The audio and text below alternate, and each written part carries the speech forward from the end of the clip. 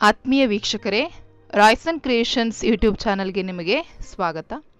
ಇಂದಿನ ಈ ವಿಡಿಯೋದಲ್ಲಿ ನಾನು ಗಣಿತ ವಿಷಯದ ಬಗ್ಗೆ ನಾನು ನಿಮಗೆ ತಿಳಿಸ್ತಾ ಇದ್ದೀನಿ. ಈಗಾಗಲೇ ನಾವು ಹಲವಾರು ವಿಡಿಯೋಗಳಲ್ಲಿ ನಾವು ಯಾವ ರೀತಿ ಅಂಕವನ್ನು ಗಳಿಸೋದು ಮತ್ತು ಕೆಲವು ಎಲ್ಲ ಗಣಿತದ ಸಮಸ್ಯೆಗಳನ್ನು ನಾವು ಬಿಡಿಸಿದ್ದೇವೆ. ಸೊ ಈಗ ನಾವು ನಮ್ಮ ಫೈನಲ್ ರಿವಿಷನ್ಗೆ ಬಂದಿದ್ದೇವೆ. ಸೊ ಈ ಫೈನಲ್ ರಿವಿಷನಲ್ಲಿ ನಾನು ಈಗಿನ ವಿಡಿಯೋದಲ್ಲಿ ನಾನು ಎರಡು ಅಂಕದ ಪ್ರಶ್ನೆಗಳನ್ನು ತಿಳಿಸ್ತಾ ಇದ್ದೀನಿ. ಸೊ ಈಗ ನಾನು ಈ ವಿಡಿಯೋದಲ್ಲಿ ತಿಳಿಸುವಂತಹ ಎರಡು ಅಂಕದ ಎಂಟು ಪ್ರಶ್ನೆಗಳನ್ನು ನೀವು ಸರಿಯಾಗಿ ಅಭ್ಯಾಸ ಮಾಡಿದ್ರೆ ಹದಿನಾರು ಅಂಕಗಳನ್ನು ಸುಲಭವಾಗಿ ನೀವು ಪಡಿಬೋದು. ಸೊ ಅದನ್ನು ಯಾವ ರೀತಿ ಬಿಡಿಸೋದು ಅನ್ನೋದನ್ನು ಸಹ ನಾನು ನಿಮ್ಗೆ ಇವಾಗ ಎಕ್ಸ್ಪ್ಲೈನ್ ಮಾಡ್ತಾ ಹೋಗ್ತೀನಿ. ಏಕೆಂದರೆ ನೀವು ಎಷ್ಟೋ ಬಾರಿ ಕಲ್ತಿರ್ತೀರ ಅದಕ್ಕೆ ಮರ್ತಿರ್ತೀರ, ಆದರೆ ಕೊನೆ ಬಾರಿ ನೀವು ಮಾಡುವಂಥ ಅಭ್ಯಾಸ ತುಂಬಾ ಇಂಪಾರ್ಟೆಂಟ್ ಆಗುತ್ತೆ. ಏಕೆಂದರೆ ಅದು ನಿಮ್ಮ ಎಕ್ಸಾಮ್ನಲ್ಲಿ ತುಂಬಾ ಸಹಾಯ ಮಾಡುತ್ತೆ. ಹಾಗಾಗಿ ಈಗ ನಾನು ಯಾವ ರೀತಿ ಪ್ರಶ್ನೆಗಳನ್ನು ಕೊಡ್ತೀನಿ, ಅಷ್ಟನ್ನು ನೀವು ಓದಿದ್ರೆ ಹದಿನಾರು ಅಂಕವನ್ನು ನೀವು ಗಳಿಸ್ಬೋದು. ಕೇವಲ ಸಂಖ್ಯೆಗಳು ಅಲ್ಲಿ ಬದಲಾವಣೆ ಆಗಿರ್ತವೆ ಹೊರತು ಕ್ವಶನ್ಸು ಅದೇ ಮೇನಲ್ಲೇ ಬರ್ತವೆ. ಎರಡು ಅಂಕಕ್ಕೇ ಬರ್ತವೆ. ಅದಂತೂ ಹಂಡ್ರೆಡ್ ಪರ್ಸೆಂಟ್ ಶೋರ್ ಹಾಗಾಗಿ ಇವುಗಳನ್ನು ಚೆನ್ನಾಗಿ ಅಭ್ಯಾಸ ಮಾಡಿ. ಸೊ ಮೊದಲನೇ ಪ್ರಶ್ನೆ, ಈ ಕೆಳಗಿನ ರೇಖಾತ್ಮಕ ಜೋಡಿ ಸಮೀಕರಣವನ್ನು ವರ್ಜಿಸುವ ವಿಧಾನದಿಂದ ಬಿಡಿಸಿ. ಈ ಪ್ರಶ್ನೆ ಇದ್ದೇ ಇರುತ್ತೆ, ಅದು ವರ್ಜಿಸುವ ವಿಧಾನನೇ ಕೇಳಿರ್ತಾರೆ. Two x plus y equal to three four x minus y equal to nine so ಇಲ್ಲಿ ಸಂಖ್ಯೆ ಬದಲಾಗ್ಬೋದು, ಸಮೀಕರಣ ಬದಲಾಗ್ಬೋದು, ಆದರೆ ವರ್ಜಿಸುವ ವಿಧಾನ ಇದ್ದೇ ಇರುತ್ತೆ. ಅಭ್ಯಾಸ ಮಾಡ್ಕೊಳ್ಳಿ. Two x plus y equal to three ಅದನ್ನು ನಾನು ಸಮೀಕರಣ ಒಂದು ಅಂತ ತಗೊಳ್ತಾ ಇದ್ದೀನಿ. Four x minus y equal to ನೈನನ್ನು ಸಮೀಕರಣ ಎರಡು ಅಂತ ಹೇಳಿ ತಗೊಳ್ತಾ ಇದ್ದೀನಿ. ಸೊ ಈಗ ಸಮೀಕರಣ ಒಂದು ಮತ್ತು ಎರಡರಿಂದ ನನಗೆ ಏನಾಗುತ್ತೆ ಅಂದರೆ plus y minus y cancel ಆಗುತ್ತೆ.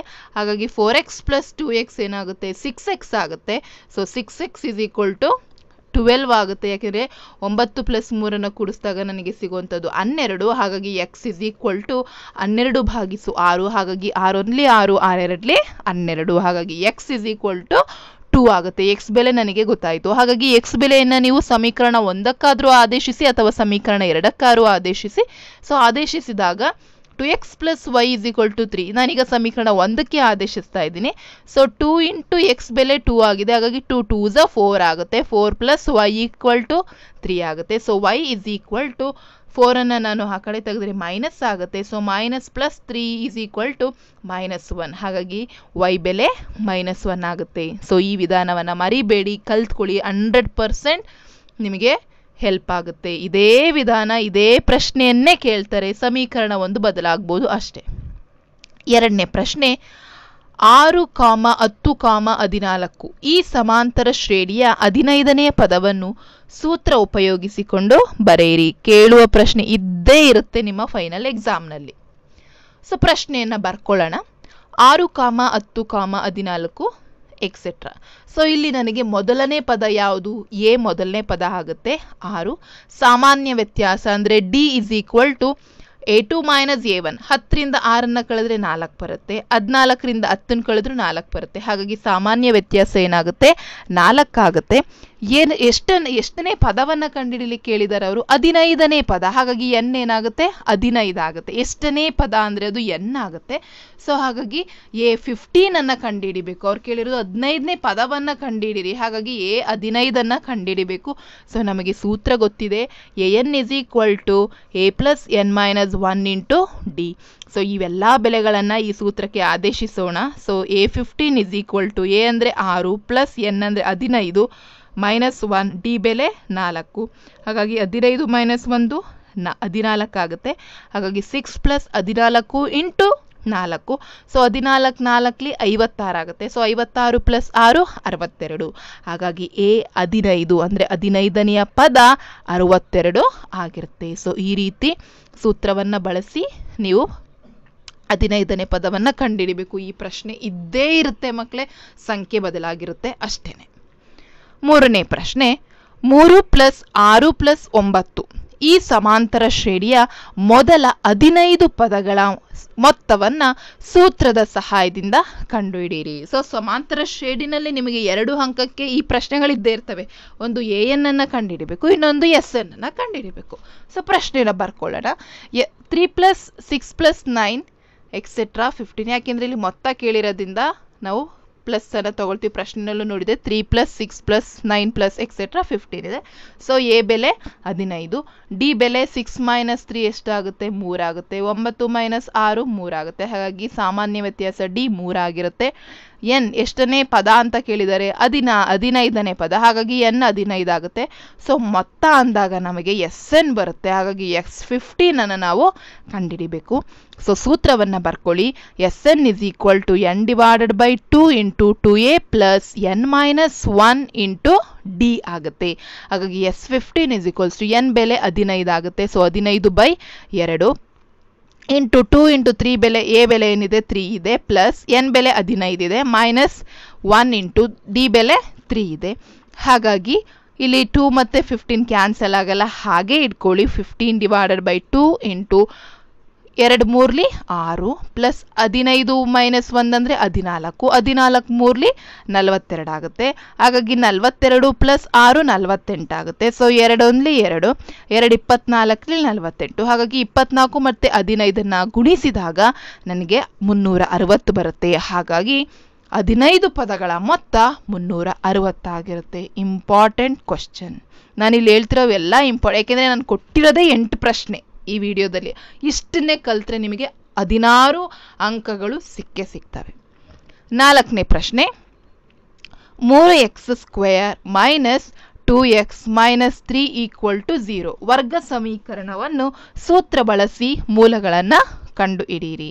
ಸೊ ಸಮೀಕರಣವನ್ನು ಕೊಟ್ಟಿದ್ದಾರೆ ಮೂರು ಎಕ್ಸ್ ಸ್ಕ್ವೇರ್ ಮೈನಸ್ ಎರಡು ಎಕ್ಸ್ ಮೈನಸ್ ಮೂರು equal to zero so a ಬೆಲೆ ಯಾವುದು? ಇದು ಫಸ್ಟ್ ನೀವು ನೋಡಬೇಕು. ಇದು ಆದರ್ಶ ರೂಪದಲ್ಲಿ ಇದೆಯಾ? ಎ ಎಕ್ಸ್ ಸ್ಕ್ವೇರ್ ಮ plus b x plus c equal to zero ಆದರ್ಶ ರೂಪದಲ್ಲಿ ಇದೆ. ಹಾಗಾಗಿ ಎ ಬೆಲೆ ಮೂರಾಗುತ್ತೆ ಬಿ ಬೆಲೆ ಮೈನಸ್ ಎರಡಾಗುತ್ತೆ ಸಿ ಬೆಲೆ ಮೈನಸ್ ಮೂರಾಗುತ್ತೆ ಸೂತ್ರವನ್ನು ಬರ್ಕೊಳ್ಳೋಣ. ಯಾಕೆಂದರೆ ಅವರು ಸೂತ್ರ ಬಳಸಿ ಮೂಲ ಕಂಡುಹಿಡಿಲಿಕ್ಕೆ ಕೇಳಿರೋದು. ಹಾಗಾಗಿ x equal to minus b plus or minus square root of b square minus four a c divided by two a ಆಗುತ್ತೆ. ಸೊ ಎಲ್ಲ ಬೆಲೆಗಳನ್ನು ನಾವಿಲ್ಲಿ ಸೂತ್ರದಲ್ಲಿ ಬರೆಯೋಣ. ಸೊ ಬಿ ಬೆಲೆ ಮೈನಸ್ ಟೂ ಇದೆ. ಬಿ ಬೆಲೆ ಇಲ್ಲೂ ಮೈನಸ್ ಟೂ ಇದೆ. ಸೊ ಎ ಬೆಲೆ ತ್ರೀ ಇದೆ. ಸಿ ಬೆಲೆ ಮೈನಸ್ ತ್ರೀ ಇದೆ. ಸೊ ಎ ಬೆಲೆ ತ್ರೀ ಇದೆ. ಹಾಗಾಗಿ ಬರ್ಕೊಳ್ಳೋಣ. ಸೊ ಮೈನಸ್ ಇಂಟು ಮೈನಸ್ ಏನಾಗುತ್ತೆ? ಪ್ಲಸ್ ಆಗುತ್ತೆ. Plus two plus or minus square root of minus into minus plus ಆಗುತ್ತೆ. ಟೂ ಸ್ಕ್ವೇರ್ ಅಂದರೆ ಟು ಟೂ ಝ ಫೋರ್ ಆಗುತ್ತೆ. Plus minus into minus plus ಆಗುತ್ತೆ. ನಾಲ್ಕು ಮೂರ್ಲಿ ಹನ್ನೆರಡು ಹನ್ನೆರಡು ಮೂರ್ಲಿ ಮೂವತ್ತಾರು. ಹಾಗಾಗಿ ನಾಲ್ಕು ಪ್ಲಸ್ ಮೂವತ್ತಾರು ಎಷ್ಟಾಗುತ್ತೆ? ನಲವತ್ತಾಗುತ್ತೆ. So two plus or minus square root of ನಲವತ್ತು ಡಿವೈಡೆಡ್ ಬೈ ಆರ್ ಆಗುತ್ತೆ. ಹಾಗಾಗಿ ಇಲ್ಲಿ ನಲವತ್ತನ್ನು ನಾನು ಫೋರ್ ಟೆನ್ಸಾ ಅಂತ ಹೇಳಿ ಬರಿಬೋದು. ಫೋರ್ ಟೆನ್ಸಾ ಫಾರ್ಟಿ ಆಗುತ್ತೆ. ಹಾಗಾಗಿ ಟೂಗೆ ನಮಗೆ ಸ್ಕ್ವೇರ್ ಸಿಗುತ್ತೆ, ವರ್ಗಮೂಲ ಸಿಗುತ್ತೆ. ಹಾಗಾಗಿ ವರ್ಗ ಸಿಗೋದ್ರಿಂದ ಟೂ ಅನ್ನು ಹೊರಗಡೆ ತೆಗಿತೀನಿ. So, square root of ten ಒಳಗಡೆ ಟೆನ್ ಒಳಗಡೆ ಉಳ್ಕೊಳ್ಳುತ್ತೆ. ಸೊ ಇವೆರಡರಲ್ಲೂ ಏನಿದೆ? ಎರಡು ಕಾಮನ್ ಇದೆ. ಹೌದಲ್ವಾ? ಸೊ, ಹಾಗಾಗಿ ಇಲ್ಲಿ two plus or minus two by six root of ten ಅಂತ ಇದೆ. ಹಾಗಾಗಿ ಇಲ್ಲಿ ಟೂ ಅನ್ನು ಕಾಮನ್ ತೆಗೆದ್ರೆ ಏನಾಗುತ್ತೆ? ಟು ಒನ್ಸ ಟು ತ್ರೀಸ್ ಆಗುತ್ತೆ. ಹಾಗಾಗಿ one plus or minus square root of ten ಆಗುತ್ತೆ. ಇಲ್ಲಿ ಪ್ಲಸ್ ಆರ್ ಮೈನಸ್ ಇರೋದ್ರಿಂದ ಅಲ್ಲಿ ಎರಡು ಬೆಲೆ ಇದೆ. ಅದು x equal to one plus square root of ten divided by three ಇನ್ನೊಂದು x equal to one minus square root of ten divided by three ಹಾಗಾಗಿ ಇಲ್ಲಿ ಎರಡು ಮೂಲಗಳಿವೆ. ಸೊ ಇದಿಷ್ಟು ಉತ್ತರ. ಸೊ ಈ ರೀತಿ ನೀವು ಸೂತ್ರವನ್ನು ಬರೆದು ಅದರ ಮೂಲಗಳನ್ನು ಕಂಡುಹಿಡಿಯುವಂಥದ್ದು. ಈ ಪ್ರಶ್ನೆನೂ ಇರುತ್ತೆ. ಐದನೇ ಪ್ರಶ್ನೆ, ವರ್ಗ ಸಮೀಕರಣದ ಶೋಧಕವನ್ನು ಕಂಡುಹಿಡಿದು ನಂತರ ಮೂಲಗಳ ಸ್ವಭಾವವನ್ನು ಬರೆಯಿರಿ. So x square plus three x plus two equal to zero ಇದೊಂದು ಸಮೀಕರಣವನ್ನು ನಾನು ತಗೊಂಡಿದ್ದೀನಿ. ಸೊ ಇದು ಎ ಬೆಲೆಯನ್ನು ಬರ್ಕೊಳ್ಳೋಣ. A equal to one b equal to three c equal to two ಆಗುತ್ತೆ.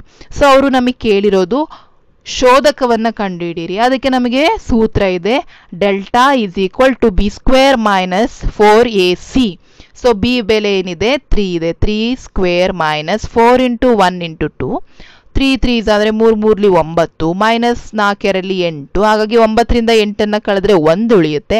ಹಾಗಾಗಿ ಇಲ್ಲಿ ಡೆಲ್ಟಾ ಏನಾಗಿದೆ? ಗ್ರೇಟರ್ ದ್ಯಾನ್ ಝೀರೋ ಸೊನ್ನೆಗಿಂತ ಡೆಲ್ಟಾ ದೊಡ್ಡದಾಗಿದೆ. So b square minus four a c greater than zero ದೊಡ್ಡದಾಗಿದೆ. ಹಾಗಾಗಿ ಸಮೀಕರಣದ ಮೂಲಗಳು ಭಿನ್ನವಾದ ವಾಸ್ತವ ಮೂಲವನ್ನು ಹೊಂದಿರುತ್ತೆ.